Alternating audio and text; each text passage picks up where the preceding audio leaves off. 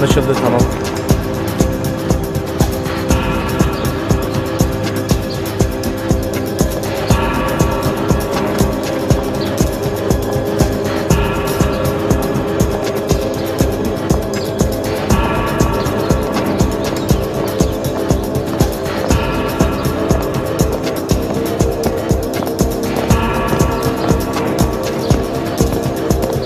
Hoş geldiniz Halil İbrahim Bey. Hoş bulduk.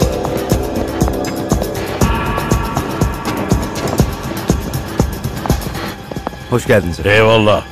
Buyurun.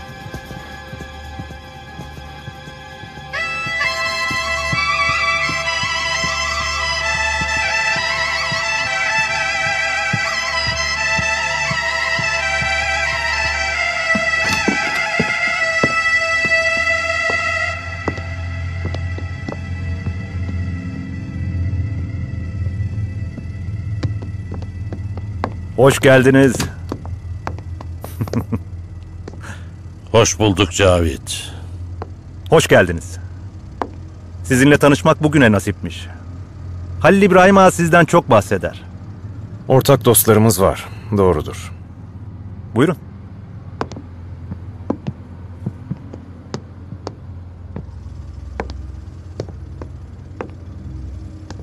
Madem ortak dostlarınız var, la siz de burada dost olacaksınız demek ki. Olacağız dayı. Cavit Bey'e ben aklımdaki birkaç soruyu soracağım. Ondan sonra dosttan ileri olacağız. Tabii ki ne demek?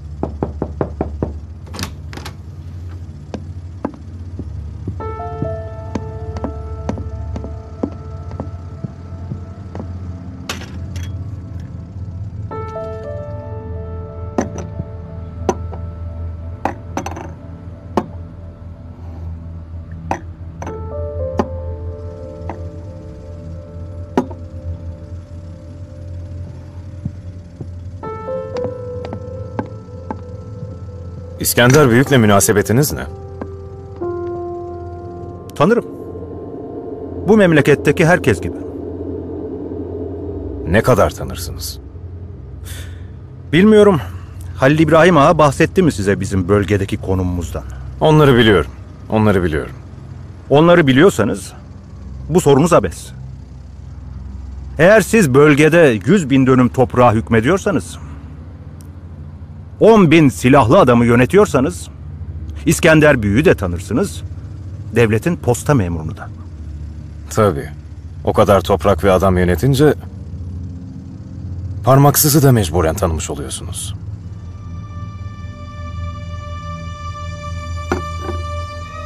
Tanıyorum.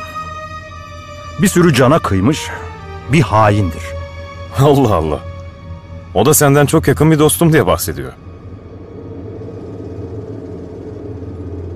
Can Polat. La sende ne kadar örgütçü varsa onları dinledin. Bir Cavit'i dinlemedin. Muray'a Bulut'u öldür emrini ben vermedim dayı. O it kim ki? Adını burada ağzına alıyorsun. O it bu kapıdan içeri giremez. Bir dakika, bir dakika. Siz benden hatırlı büyüğümün adını araya koyup randevu alıyorsunuz. Mekanıma geliyorsunuz. Niçin? Bana hakaret etmek için mi? Yok. Haber vermek için. Cavit Akarsu. Arada dayımın hatrı var. Sevdiklerinle vedalaş. Senin için yarın yok. Polat Alemdar. Üç yaşımdan beri tehdit ediliyorum. Beni tehdit edenlerin hiçbiri hayatta değil. Halil Bey'in hatrı var, şansını zorlama. Yahu durun hele. Bir konuşalım. Konuşacak bir şey yok. Söz bitti.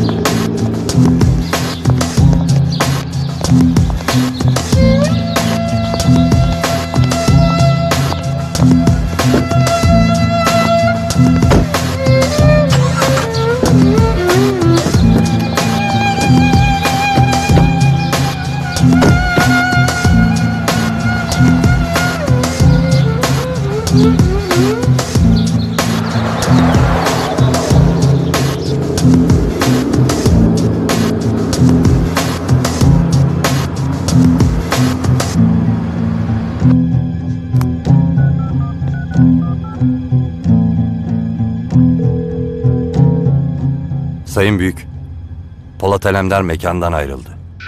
Aman Kenan'ım ayağının altında dolaşma adamın. Cavit diye keser seni. Gözlerinden öperim.